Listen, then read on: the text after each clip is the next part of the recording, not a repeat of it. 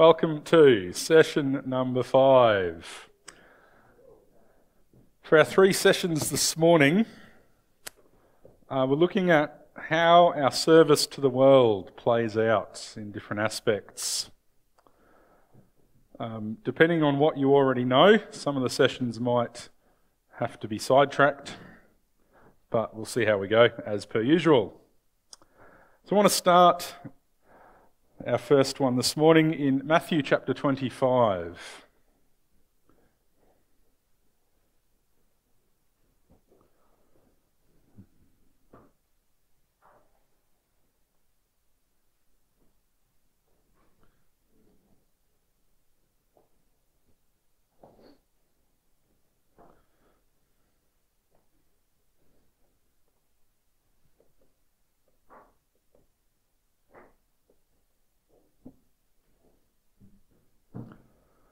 All right, it's quite a long passage from verse 31 to 46.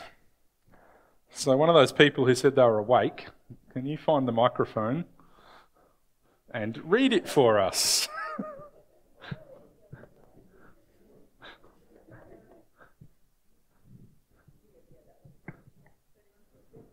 Chapter 25, verse 31 to 46.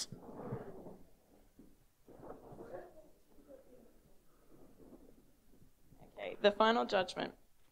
When the Son of Man comes in his glory and all the angels with him, then he will sit on his glory, glorious throne. Before him will be gathered all the nations, and he will separate people one from another, as a shepherd separates the sheep from the goats. And he will place the sheep on his right, but the goats on the left. Then the king will say to those on the right, Come, you who are blessed, by my Father, inherit the kingdom prepared for you from the foundation of the world. For I was hungry, and you gave me food. I was thirsty, and you gave me drink. I was a stranger, and you welcomed me. I was naked, and you clothed me. I was sick, and you visited me. I was in prison, and you come to me.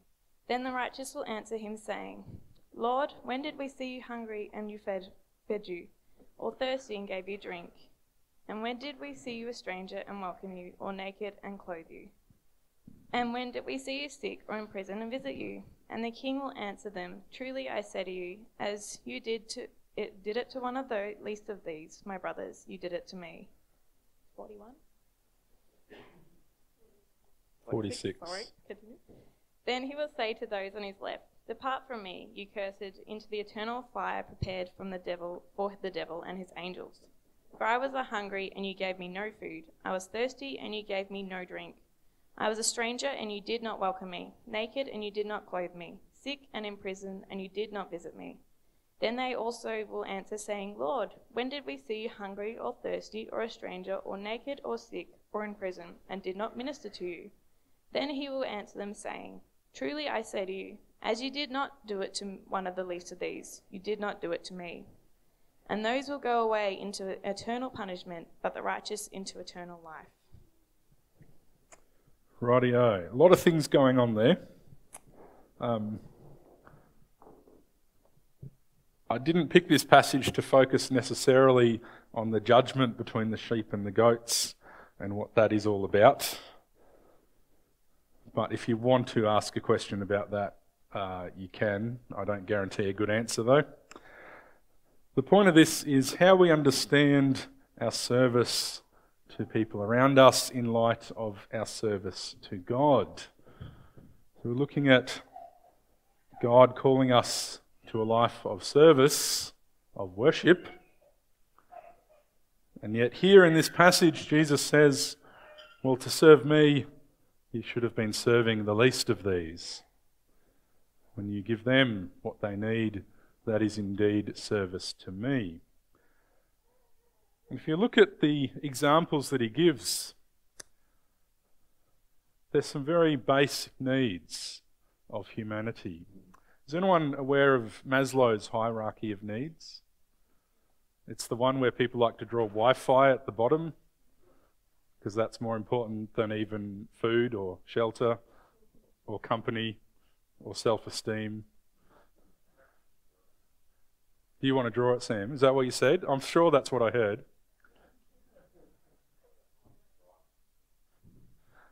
The point of this, though, is the things that Jesus describes here are the real basic needs of humanity to be fed, to be clothed, to have shelter, to have someone care about you, to visit you. So if you look at the two examples hungry and you gave me food, thirsty and you gave me drink, a stranger and you welcomed me, naked and you gave me clothing, sick and you took care of me, in prison and you visited me. This is really basic stuff. This is not some grand plan, some great spiritual acts that you have to do. This is simple caring for your fellow human beings. And it's in this that Jesus says, You have served me. So, how then do we understand this call of life, call in all of life? What is it that we should be doing? In Luther's time, those who were in the monasteries, who dedicated their life to some religious calling, viewed themselves as being better, as more serving God than those who just lived their life. And yet, here, there's no mention of even praying for me, no mention of talking to me about theology at three o'clock in the morning, which I believe some of you were doing. This is real, simple, earthly stuff food, drink, clothing, someone to care for you, someone to visit you, someone to welcome you when you're a stranger. This is our service as a priesthood, the royal priesthood that we talked about. This is part of our service. Yes, the aspect that we talked about yesterday of declaring the mighty acts of God and of interceding on behalf of the people is certainly important. But here Jesus reminds us that these simple human needs are also important. And we see here reflected uh, what we call the two kinds of righteousness. Now, someone who was here last year, can you explain to the rest of the group what's going on with the two kinds of righteousness? Hayden, I saw some movement. You want to come out the front? I don't know. This is the action that Guntars does for the two kinds of righteousness. Except his arms are a bit bigger than mine. so, So you got a vertical arm. the vertical arm is um, the righteousness that God gives to us. So it's coming down in a vertical direction. And then the horizontal arm is when we uh, show that righteousness to one another through good works. That'll do. Even, even the position of your hands is important in that. So you're receiving from God, receiving Christ's righteousness, and spreading that out to the world. So here, when Jesus talks about serving your neighbour in this way, he says this is completely linked. The service out in the world, even this real basic stuff of giving someone who's thirsty a drink, is intrinsically tied into your standing before God. And we understand that it is because God gives us His righteousness that we can act in righteousness to those around us. And this is something we do every single day of every single week of our life as a Christian. So, the most righteous act, when you understand it in that way, is not showing up to church an hour early so that you can sit right up the front, which I know all of you do. Our most righteous act is not necessarily serving in the church, playing the keyboard, singing, doing the Bible readings. The most righteous act, even on a Sunday morning, perhaps, is those who look after the tea and coffee, those who sweep up the leaves. In my church, by the time they've swept all the way around and get back to the front again, there's more leaves. It's the simple, basic stuff in life. I have the microphone up here.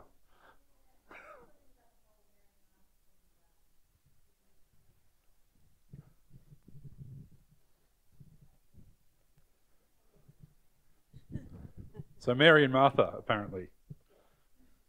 Oh, just so you know, you're talking about you know the service, you know the the the tidying up, the cleaning, the providing food. Yep. Um, but what of Jesus turning that on its head with the whole Mary Martha thing? Which which one of these was Mary and which one was Martha? True. Good point. If you're doing this without already having received from the Lord, what are you doing? That is a question that I want you to answer. You're earning salvation. Earning salvation. Yeah, so I've lost that arm. It's gone. I'm just giving for myself, my own stuff. God's taken out a picture, and my heart's rubbish. So Works righteousness, and it will never, ever be good enough. So, the most important thing is to receive from God. And then, having received God's righteousness, when you give, you're giving out of the abundance that God has given you. And it doesn't have to be majestic, it can be all this simple stuff. So there's another point hidden in there. I'll see if we can work it out. When you receive from Christ, what are we what are you actually receiving? Talk about his righteousness, that's what I've been saying. What is he giving you?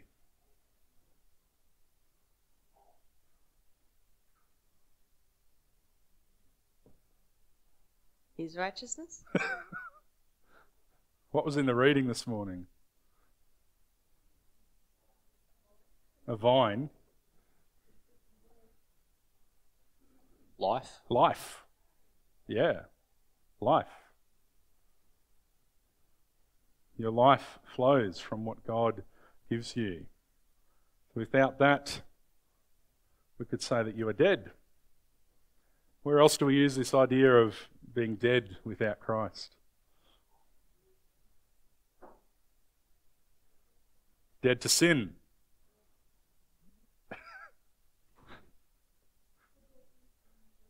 Dead in sin, dead to sin, one or the other. You see how it all all fits together. The life of abiding in the vine, receiving the righteousness from Christ, serving the world around you based on the abundance of what Christ has given you. Otherwise, it is you are dead. What you're giving is merely from yourself, and in fact, it's really nothing at all. And yet, the people who were doing this giving in our passage in Matthew, did they know that that's what they were doing? No. How does that work?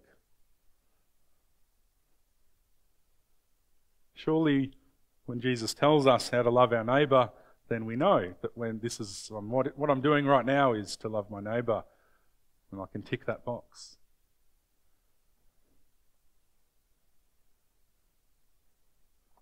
Anyone?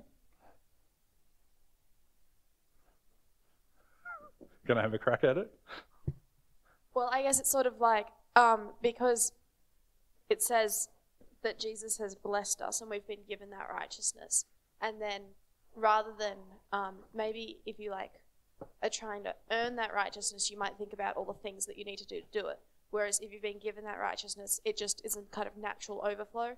And it's like if you if you love someone, you're not like, oh, I'd better like do this because then like that's all like you're not necessarily thinking that oh I have to do that so that they'll like me or that it's the right thing to do. You just do it because it's what you want to do. This, is this is the act I have to do to show you that I love you, and I'll do that for that reason instead of that I do and it just happens.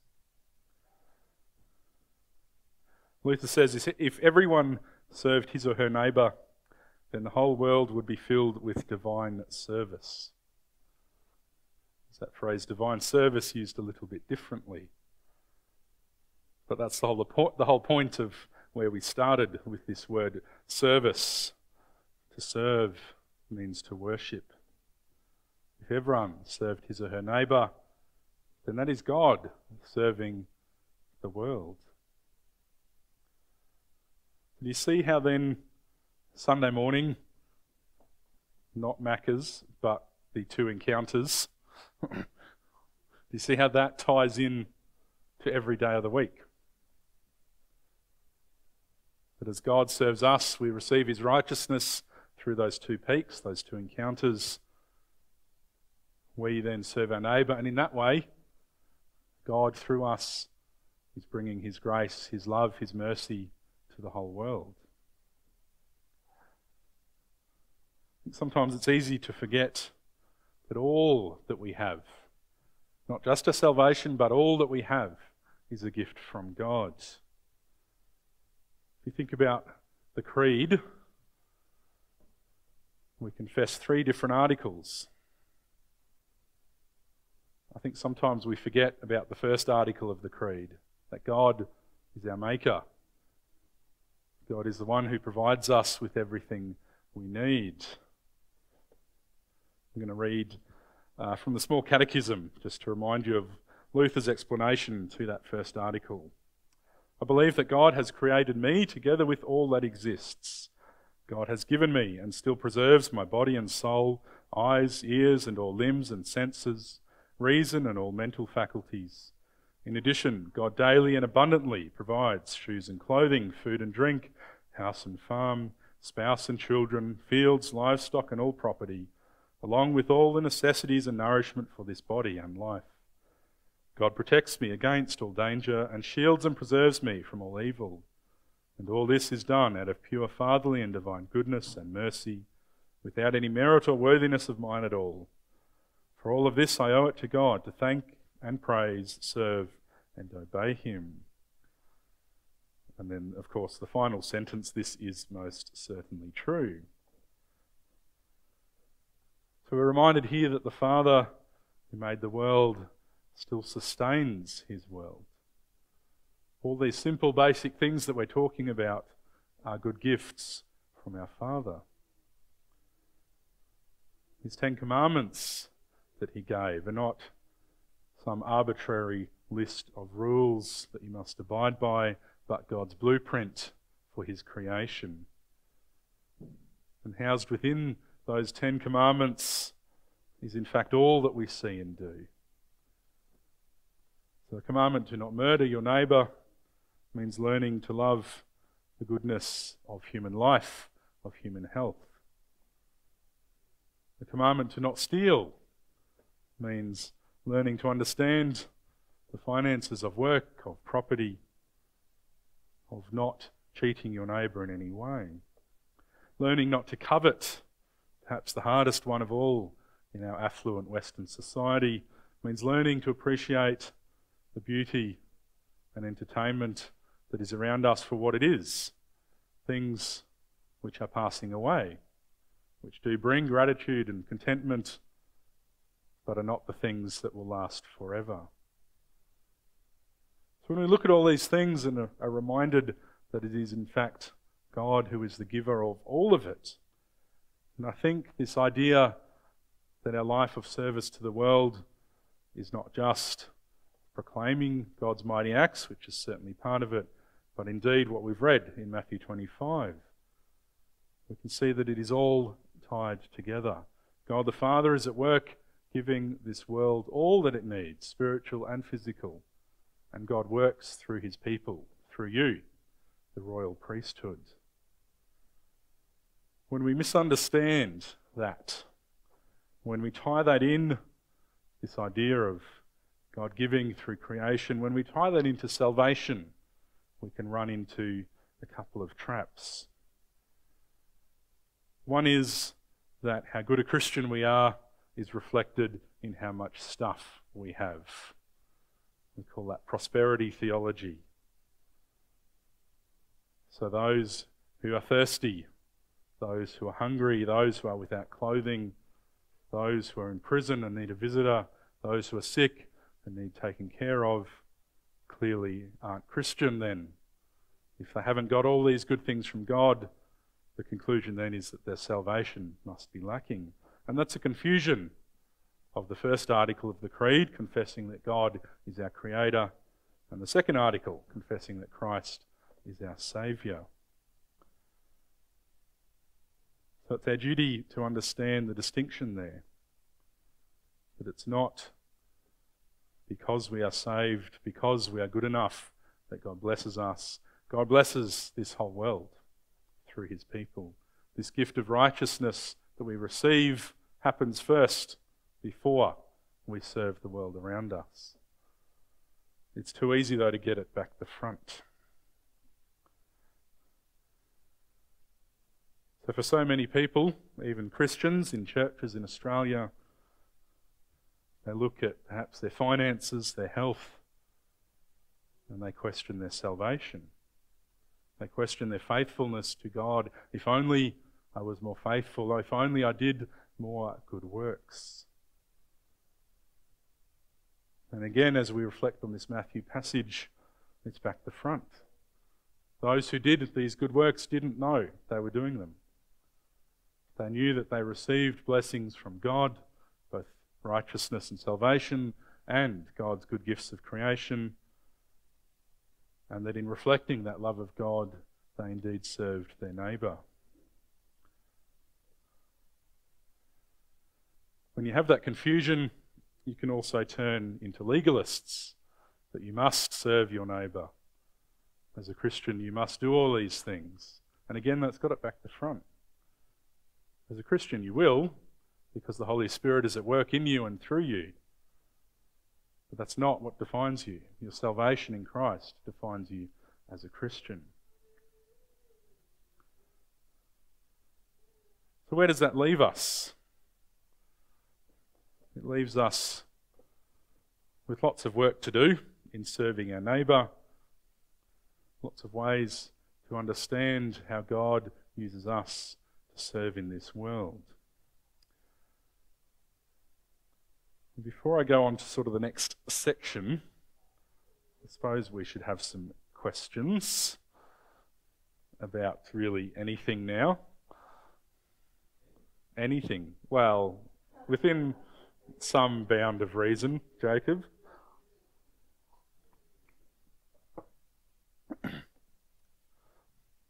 Did you actually have one? Or are you just threatening me? Okay. Pastor Josh, I have a question. Yes, Pastor Sam. In um, in that Matthew reading, the uh, people who did the good works didn't know that they did them, Mm-hmm. and the people who uh, were condemned didn't know the good works were available for them to do. Yes. They didn't know they didn't do them. Yes. Does that mean if we know we've done good works Where do you fit? that we've that it's become works righteousness?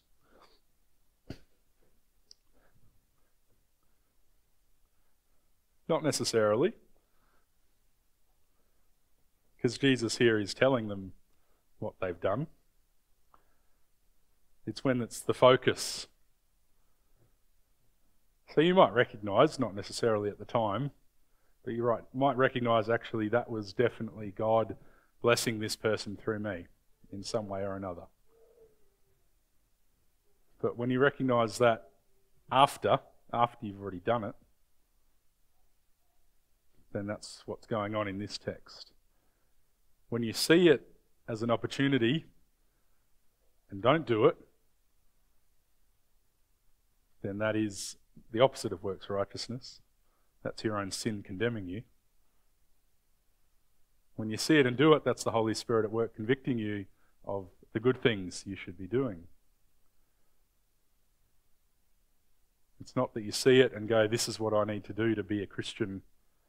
The fact that you see it in the first place is because you are already a Christian. That God has already told you the good things that He would have you do. Doesn't mean we always do it. We are still sinners in this world. Is that enough of an answer for you? Good. Any other questions, even about that passage? Does anyone remember the question I asked you last night?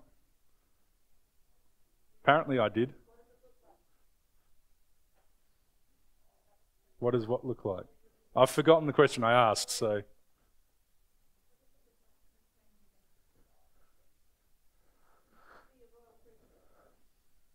Did anyone come up with any answers?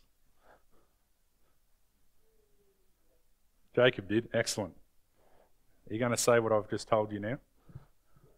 I wasn't listening well enough to say that. Um, I would say to be a royal priesthood is to what what is similar to serve, but it's to be the body of Christ. Um, that He's come into us, and that is through word and sacrament, and therefore we are His body to go out into the world um, and to basically be Christ in the world. Yeah, but what does that look like? So that looks like us doing the very actions that Christ did, and we see that in the first apostles that went out. That they were sent out, well, they were sent out in pairs, um, and they did the same sorts of works as as what Christ did. So they went out teaching, um, primarily, um, teaching about Christ and the salvation that there is in Christ. Um, they went out um, serving people, um, providing them food and providing healing to them and providing for their, their basic needs, which is what you were were talking about obviously in this session um, with the, the sheep and the goats. Um, yeah. They were taking. I suppose you could bring it back to Genesis and say they were starting to take ownership of the land as, of the of the the world as well. They were seeing that they were responsible for the people um, that were around them, because God had placed them in their in their world around them, um, and they were responsible for all of all of creation, and so therefore they were actually taking responsibility of it, mm-hmm. rather than taking what is a more common concept of ownership, where when you own something, you can do whatever you want with it. Very good. Did everyone hear all that? Excellent. I'll, I'll tell you later. Did anyone else do some thinking along those lines? In all your hours awake, not sleeping? Did anyone think more practically in their own life? Perhaps you can reflect now, now that you've heard this Matthew passage, on perhaps some opportunities that have happened in your own life do these things. Looking back, obviously, looking back perhaps at missed opportunities. Meryl. Um, I think sometimes um, having a, um, I guess in the Christian mindset, we can be a bit overactive in our minds about whether we're doing the right thing or not, because um, we don't want to do the wrong thing. Um, in the, in this passage, you know, those people that didn't know that they were doing the right thing, like that's that's awesome. But it seems to, you know, be well, at least in my life, a rare thing. Um, because as Christians, we're called to obey God and do all these things. So we actually have to be consciously thinking about doing those things, because not out of to, to you know for, for salvation, but just because that's what God calls us to. So we are going to be actively thinking and, and doing those things, and that's still good, I reckon. Mm. Um,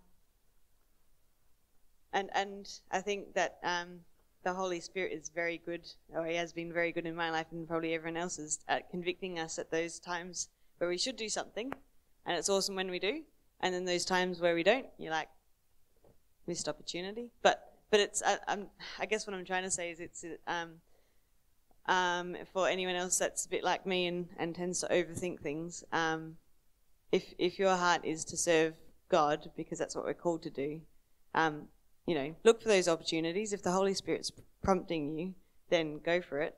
Um, and and obviously seek His forgiveness when when you miss that. But um, yeah, I guess I don't know. I wouldn't want to get over anxious or worried about whether I was consciously or unconsciously serving him, because um, we're just we're just called to. So just just do it. If that is helpful, I hope, and not too rambly. One of the things you get out of out of those who didn't do these good works is you get the impression that they were focusing on the bare minimum. How many times did I need to feed the hungry to pass? How many times do I need to just give a drink to someone to pass? Surely, if you'd told me how many I needed to do and pointed out, I would have done them uh, would have been good enough. But the ones who did do these things weren't even thinking about how many. They were just living the life God had called them to live, living in that mercy, knowing that when they fail, there is still that forgiveness. And when God leads them to serve in that way, that it is to God's glory, not to their own. We've sort of touched on something. Yes, Levi. So one of the other ways, the practical ways you can see it, is striving to live out the Ten Commandments. We've already got repentance and forgiveness, so strive to live out the Ten Commandments in their practical ways. So uh, you've got parents, practically as a Christian, you you honour them. So if they say, clean up the dishes or ring me up once a week, you actually do that. That's a, a physical, well, it's a practical way of us living out that Christian life, that priesthood. Um, also, not for us, but dying well back in the day. Uh, so the Christians got persecuted, and rather than renounce their faith or back down on what they, on Jesus' teachings, they preferred to die. And there was a case where there was a plague going through town, and the Christians stuck around and did the, the deed of helping others who were sick. And many Christians died, that got the plague and died, but they still saw that as a, a valuable, worthwhile thing to live out the gospel, helping the sick, um, proclaiming the gospel, and dying with a hope that we don't stay dead.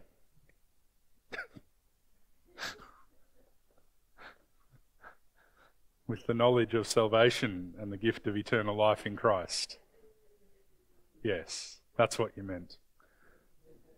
So they were willing to go visit the sick, to give them food and drink and clothing, even at risk of their own life. Put to your neighbour first in that regard. The one thing we did touch on, sort of, is that God's law speaks to us in different ways. Now, some of you who've been to different conferences and teaching would immediately know what I'm talking about. That is the three functions of the law. Yes, few, few nodding heads. Yes, Pastor Sam knows. three functions of the law.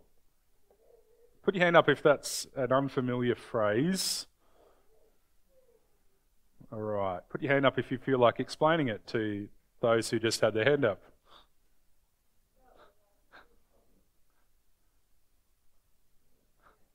Otherwise, I'll do it, you know. Josh, go. is- Pastor Josh, do it. It's my job. Three functions of the law. And the, the reason I use the word functions instead of uses is that we're not the one who use it. It's the law doing what it does. So the first Curb. is curb or fence. What does a curb or a fence do? It delineates, it stops you going where you shouldn't go. So the law in that function prevents you from doing evil. One of the very simple outworkings of this first function of the law is through the state. You see a speed limit sign. The law is telling you what you should be doing. And unless you ignore it, you don't break the speed limit. Isn't that right, Isaac? Is it right? Yes. Thank you. Second function of the law, which I just sort of morphed into there. No, that's the third. Mirror. What does a mirror do?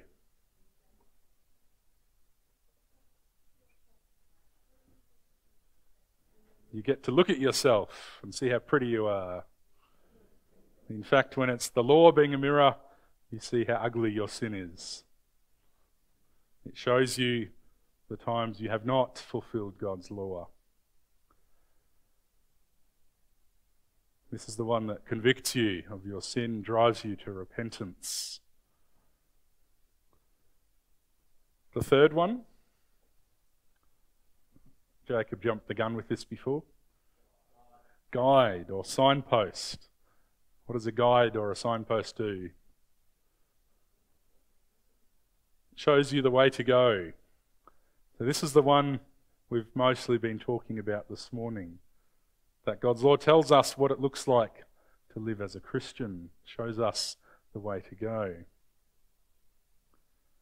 But at the same time, the law always accuses. As it shows us the way to go, we invariably realize times in the past where we haven't gone the right way. As the law points out the boundaries in the curb, it invariably reminds us of times in the past where we've crossed that boundary. So the law always accuses, even as it has both these other functions. Are you right there, Sam? We want the Latin. The Latin, lex semper accusat. Why do you want the Latin? Do you want me to spell that? They're words, Levi.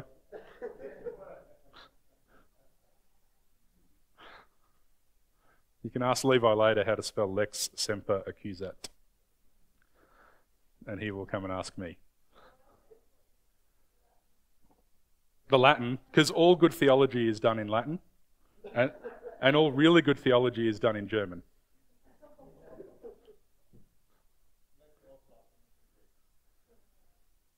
No.